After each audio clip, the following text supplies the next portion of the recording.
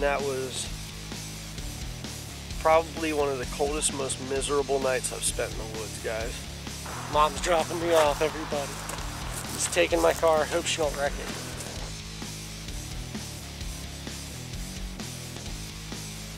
Our first camp out off of the homestead for 2021.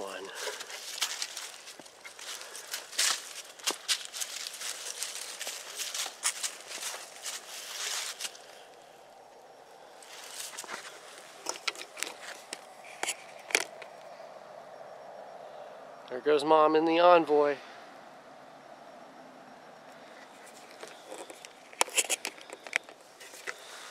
Won't see her until the morning.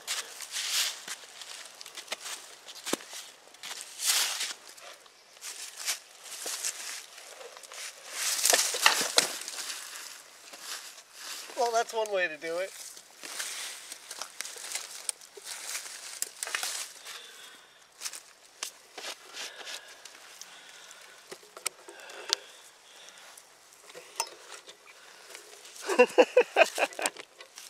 We're not even 100 yards in yet.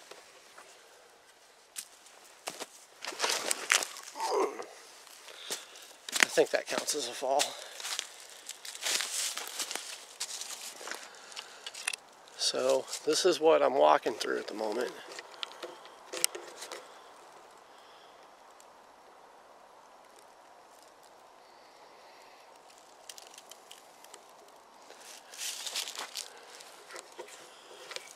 Still have the road over my shoulder.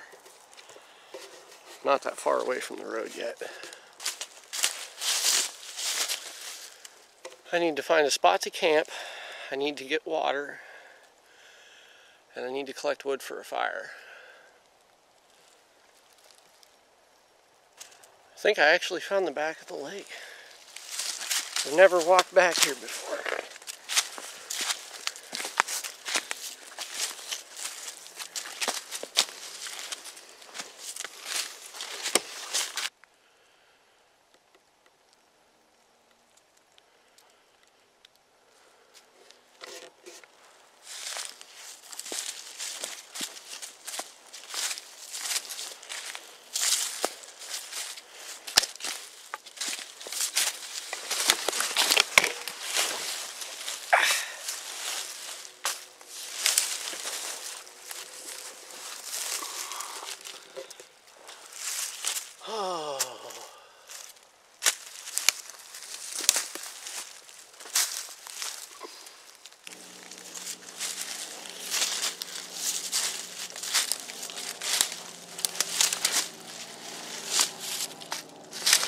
Check these old beaver chews out.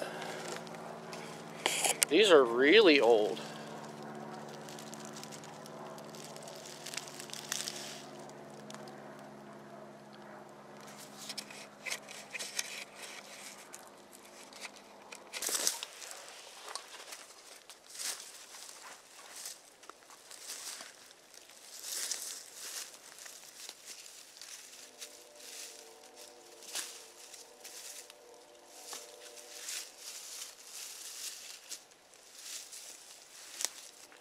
Gonna make sure I get all the sticks up, but I want to try to leave the pine bedding down. for something of a padding tonight. So this is where we're gonna do it. Uh,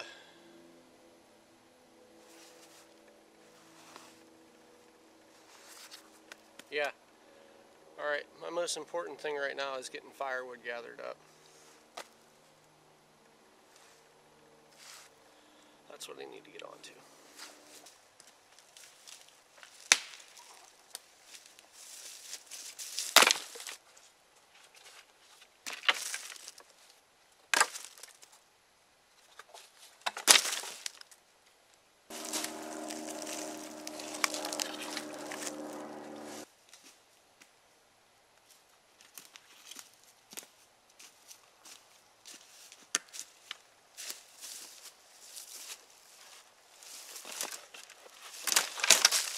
So let's take a look at what we brought because I need to get into my bag to get my water filter out. I need a drink.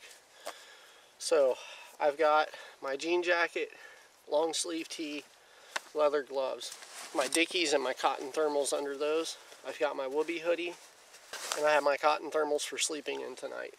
Uh, this is just food, my med kit. This is my catheter supply because I live with a spinal cord injury. Happened to show up right before I was leaving the house, and it's my new BRS stove. We'll be trying this out in the morning. I wasn't originally going to bring it because if I didn't, that keeps me at like seven items for tonight. So we have my cook cup. Brought out my Morakniv companion for today. I wanted to keep things really light and really basic.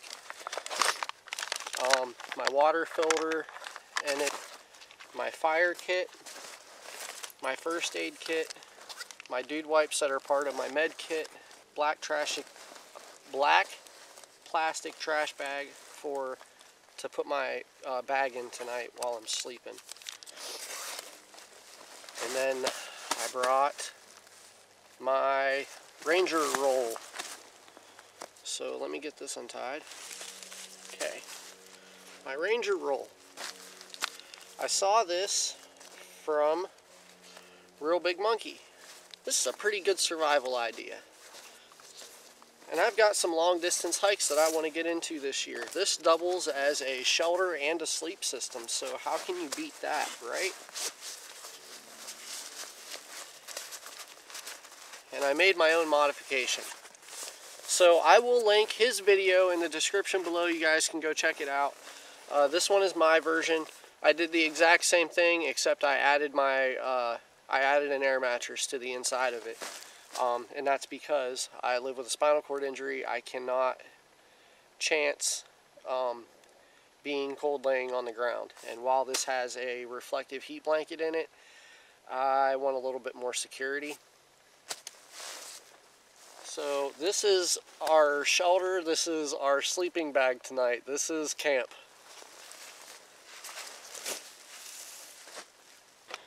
Can you see this little this little dirt patch? That's a slide. Like from beavers or muskrat. They're air bubbles. Or that's what those air bubbles are there. Out under the ice from them diving under the ice. That's awesome.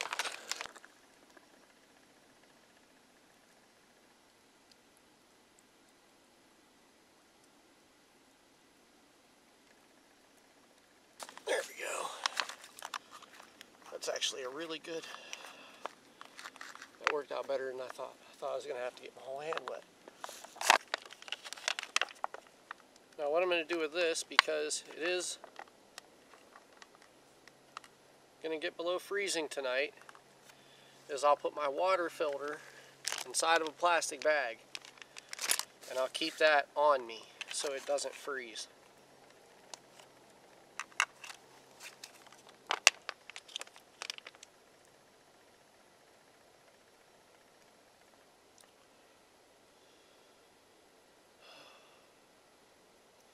Some really good water. I love this filter.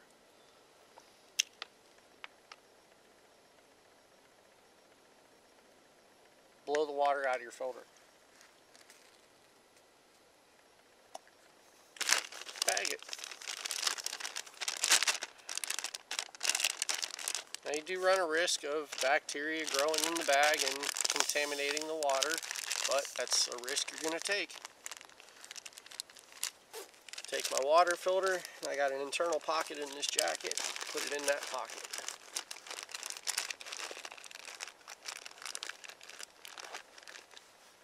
And in normal fashion, when I started my fire, I wasn't recording. So this one wasn't fancy, I'm not messing around, I just used a cotton ball with Vaseline.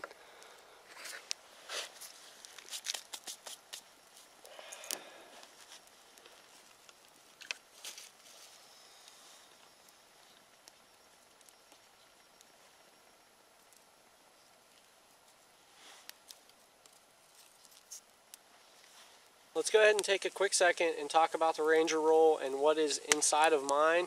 Oh, excuse me. Okay, so I've got my army poncho.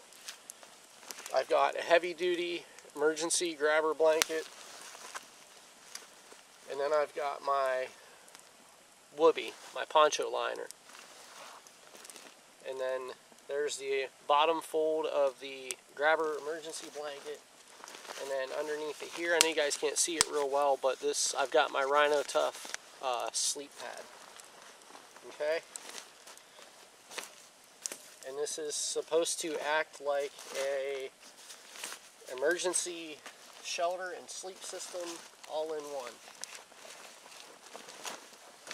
Oh, and then what I did different with mine also is down here at the end, I have my end all bunched up and tied off like a mummy bag. So that I don't have as much of a, a draft coming through the bottom. Okay, it is coffee time. I need a coffee. It is getting cold out here. It's getting a little dark.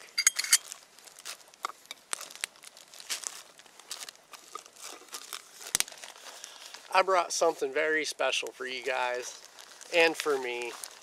My grandpa got me a very awesome Christmas gift this year. I have not had this in a while, and this is one of my favorite coffees.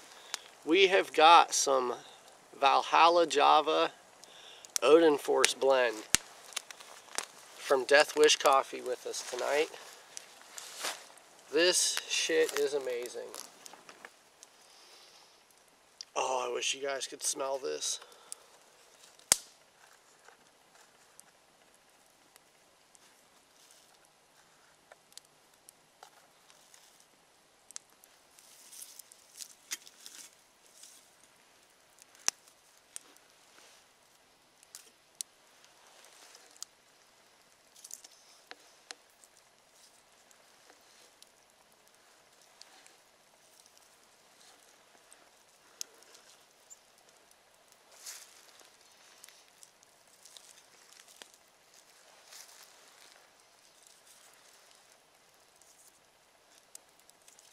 Always say it's not camp until there's coffee. Now there's coffee. Oh, that's some good shit.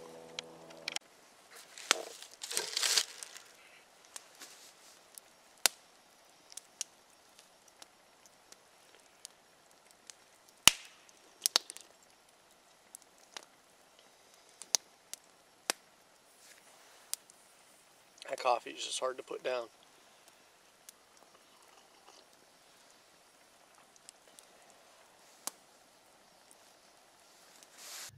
Like long pieces as long as you're safe about it.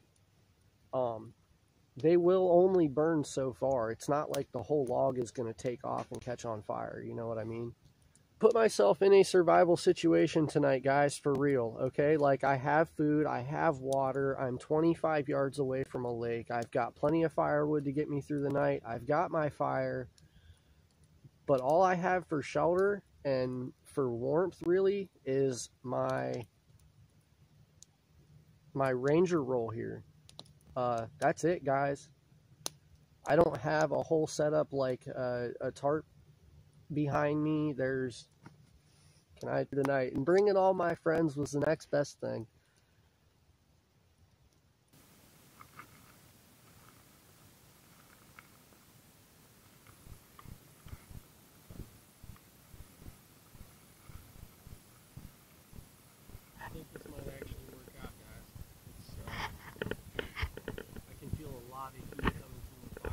about 2 a.m.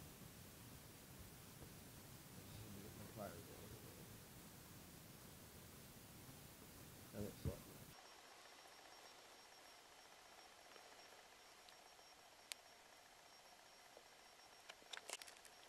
Well, it is 7.30 in the morning, and that was probably one of the coldest, most miserable nights I've spent in the woods, guys.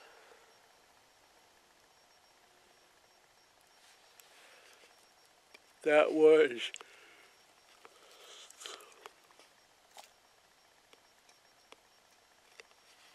that was a very brutally cold night and I was struggling to keep my fire going. I'd pass out for an hour wake up it'd be damn near out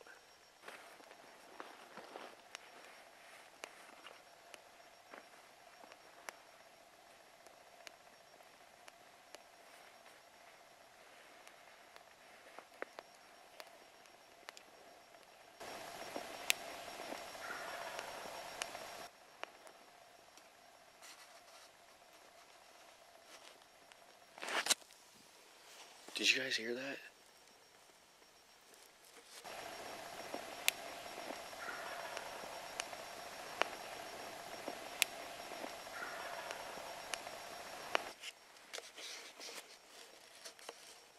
I didn't think there was turkey in these woods.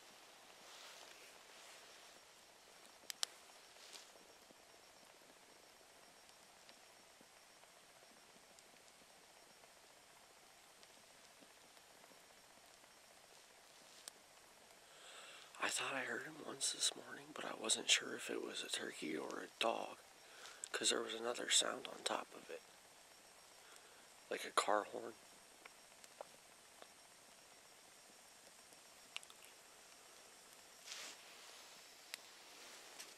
Hmm.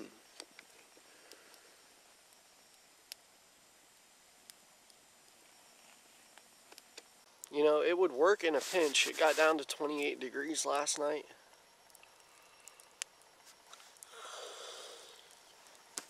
I need to get me one of those little like keychain thermometers to carry around. A wool blanket might have been warmer, but uh, definitely a lot heavier.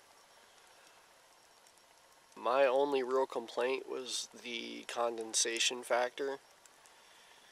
This is a good test. It's definitely a viable option if it's slightly warmer out. If it's not below freezing. Making her way out because mom is on her way.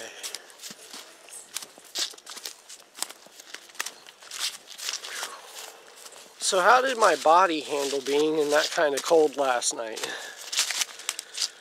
Because while we did that with the Zenbivy at 15 degrees, this was not a sub-freezing rated sleep system. I'm feeling it in my knees a lot this morning. My knees hurt, my hips are sore. Uh, my lower back is kind of feeling it. And I am definitely not moving as well as I normally do.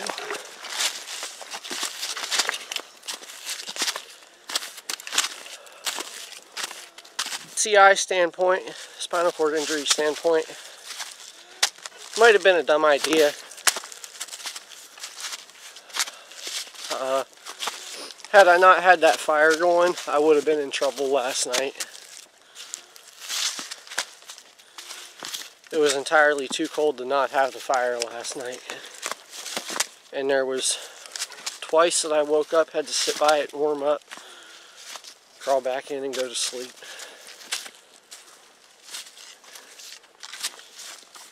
And then I had to wake up and restart it once.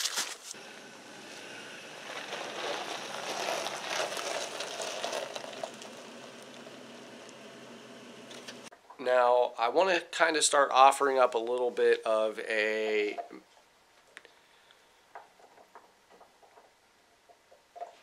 I want to start offering up some information as far as how this affects my body because with me having spinal cord injury and the conditions that I put myself through, um, there's a lot of medical information or medical pertinent information um, that could go along with what I'm doing. So at the end of my videos, like we're about to do, I'm going to start throwing these little tidbits out there. Um, I had an issue with my feet getting cold that night. Uh, so when I got back home and I finally started warming up, I my legs went into something of an experience that I never had before. My leg muscles were just firing super rapidly and I had some really intense muscle spasms going on. Uh, not necessarily painful, but very intense uh, muscle spasms. So uh, I real I think that was my body's reflex in response to the kind of cold that I was dealing with. Even though I've been out in colder temperatures, I've tolerated colder temperatures. Um, my body has tolerated it was just the way that I got cold that night, I think, is what the, the difference was. So, um, for any medical professionals watching this, uh, guys, that's I was fine while I was out. Uh, my legs stayed functional, um, but when I got home and I started getting warmed back up, uh, my leg muscles were just firing really fast, spasming out real hard. Uh, like I said, not painful, but it was happening. So there we go. That's what happened. That's what my experience was through this whole process. We are going to be testing my body and gear in this way uh, throughout the rest of the year. So make sure you guys subscribe, hit that like button, follow along, and I will see you all on the next one. Find your way.